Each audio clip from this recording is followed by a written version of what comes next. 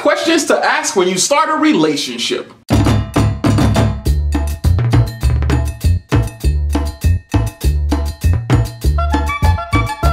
Starting something new with somebody could be a headache if you don't know much about them. So I have come up with five questions that are a must ask if you're gonna cuff this person up. Because the last thing you want is a crazy surprise to pop up on you. For example, if her ex is a gang leader who's about to come out and claim his trap queen, you do not want to be her man. And if she doing anything Future be rapping about, she might not be the one for you, dog. So with no further ado, question number one. How much alone time do you need? This is an important question to ask because you don't want to be with somebody who wants too much time. If you give people space, that leaves some room for a side piece. The side dude game is very saturated. They are waiting on the sidelines and offering all kinds of benefits.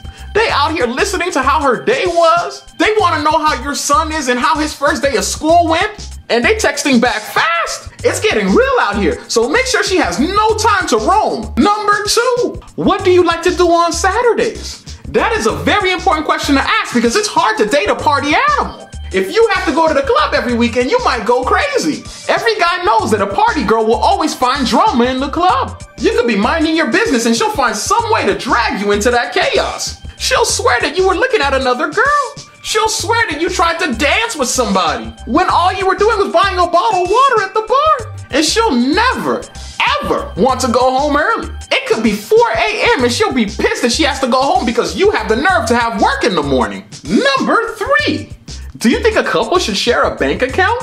Now you know how this could go south. If she wants to share money, that means your money is going to be shared. You'll put your money in, but for some reason it'll only grow when you put your money in again. Hell, she might even have a secret account and only send a small portion of her paycheck to the joint account. One thing you might experience from a greedy girlfriend is financial loneliness. You will be alone when the phone bill comes. You will be left abandoned when the dinner check comes. And you will be neglected when rent is due. Number four, where would you choose to live right now?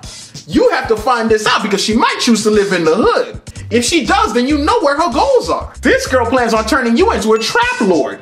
She wants you to move the devil's lettuce. She wants you to drive a Crown Vic and grow dreads. Her idea of a vacation is heading to the south side of Chicago. This girl is setting you up for an early life exit.